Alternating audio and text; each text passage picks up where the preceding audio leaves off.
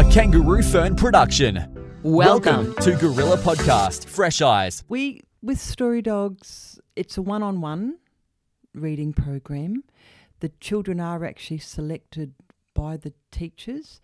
So there may be children that who are reluctant readers who may not want to read in front of an adult, but the presence of a dog gives them confidence. Some children may be quite good readers, but not they don't feel that they're very confident at their reading. Some children may just not feel comfortable. They're not. They don't have a lot of self confidence.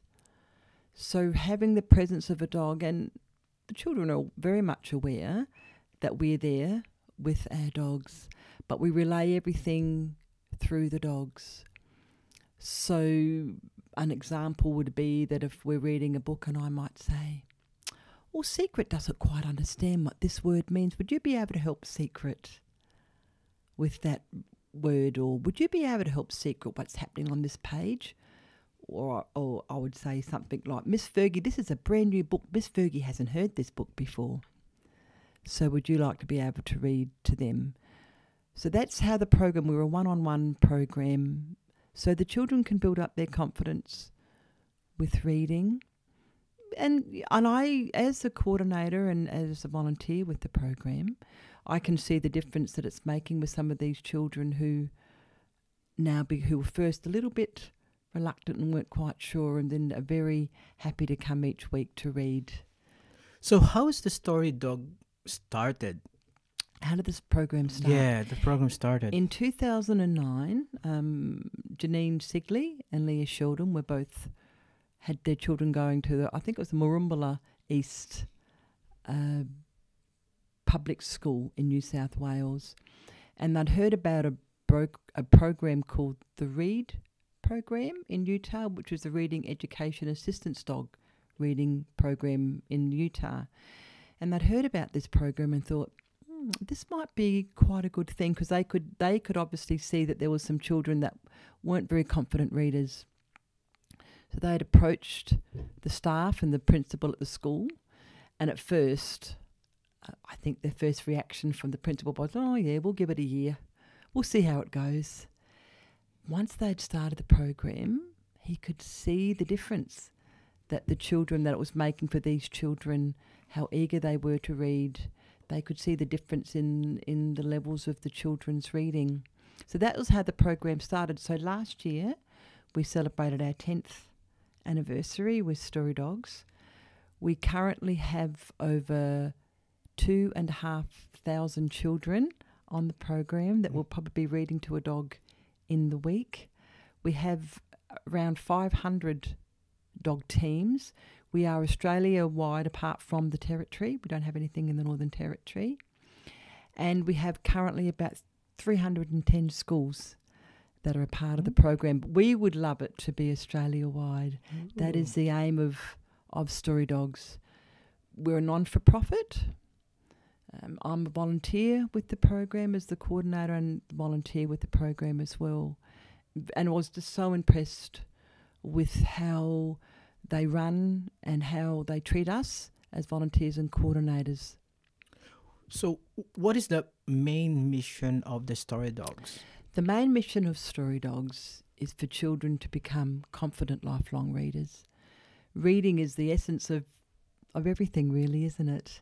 And we're so much of today of a lot of um, computers and technology to be able to hold a book and to read a book and to share those journeys in the book and a, not a better way than to share it with a dog that um, gives you some confidence and shows you unconditional love is the best way to be able to do reading. What do you think the because as you said it's everything now is digital right now. Mm. What what what do you think is the is there any obstacle of the story dogs to because some kids now it's always on the iPad, always on um instead of reading books is that a big obstacle with story dogs I don't see that as an obstacle with story dogs. You have a dog involved, children want to be able to go and see the dogs. And I have to say, when I when I go to the school, it's always, hello, secret, hello, Miss Fergie. We're always second, and that doesn't matter. That doesn't matter. The dogs are the essence of to why is to why the children want to be able to read, so they know that we're there, but they can read to the dog. They can sit with the dogs. They can relate to the dogs. The dogs love being around the children and show their love to them. I don't think my personal view is that these programs will stop because of that. I think because of the digital, we can still have that, but I think to hold a book and to look at a book, we get to know the children that you read with as well. So I get to know what books the children like to read and what you know what levels that they're easy. You don't want children struggling. Mhm. There's no there's no good in it's no good in getting a book that's really hard for a child that is struggling. So you want to be able to get them a book. There are there are times when we've started a book, and I'll will say to them, oh, I don't know whether we really like this book. What do you think, Secret? Or what do you think, Miss Fergie? And then we can change the books for the children if they don't seem to be enjoying that. But you, you try and find the books that the that the children love to read and are interested in, what their focus is on. How is important? How is how is how is important the reading? How is important? Sorry, what was the question? How how is important the reading to like for the children? The reading, Yeah. it's it's important for children to be able to understand reading. As you, I mean, we need to be able to read and to understand and to get a knowledge of mm-hmm. words. Initially, when we're reading with the children, punctuation, all that, it doesn't matter. We don't do a lot of corrections. Then you want to be able to get the children just to understand reading and to enjoy it. If we were pushing at the children, trying to correct all the Mhm. time, they would get quite uncomfortable with that and would feel a little embarrassed. So that all comes in time. It's a matter of the children enjoying the book, looking at a book, enjoying a story, having an adventure, reading with the dogs. Some kids is very fear, fearful on on reading. Yes, So is the story dogs helps that. helps that? Yeah, and and the teachers pick out the children, and I, in my time, we don't often get to see or hear from the parents. I've been fortunate in some times where I've run into the parents at the schools. I often try and go to assemblies with the dogs and and meet the school community. And I've been very fortunate to meet the parents, and they'll say to me, "Oh, Natalie, it is just so wonderful how story dogs, how my child is going with story dogs. There was a little boy I used to um, read with. His English was his second language, and the first books we started out, he was very limited in his reading. By the end, when he finished the program, his reading was astounding, and his mum would approach me and say just how much he had improved with his reading, and his confidence had soared because of that. So that's how that works is building up children's confidence, trust also in me as bringing the dogs along, trust in me as the person that is there.